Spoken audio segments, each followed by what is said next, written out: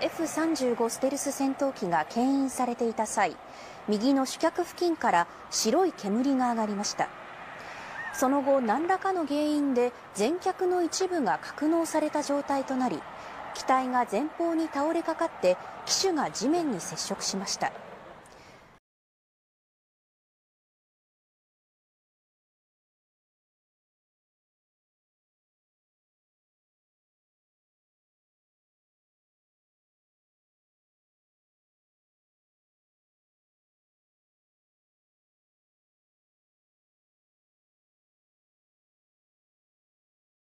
F35 ステルス戦闘機が牽引されていた際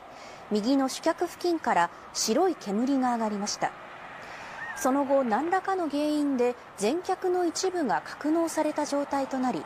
機体が前方に倒れかかって機首が地面に接触しました。